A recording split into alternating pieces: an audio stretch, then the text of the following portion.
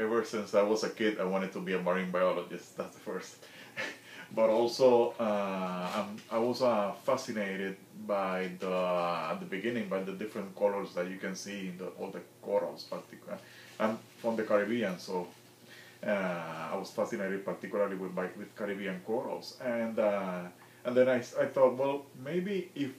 we if we see the corals, the different colors of the corals, uh, just with our own eyes, which are basically remote sensors, uh, probably there's a way that we can eventually identify them by using their, the, that information, the, the color, their color information in terms of the reflectance of the, of the that we can see of different species. For me, it's a new way to probably uh, try to open new new uh, routes of identity of of probably using this as a as a taxonomic tool eventually for identifying species, which is uh,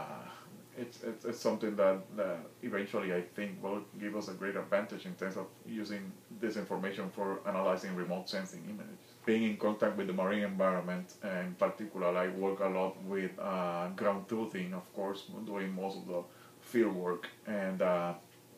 and also uh, I'm very interested in in, in just uh, using this type of information where particularly with the reflectance spectrum, you don't even need to touch the the coral to get some information out of it.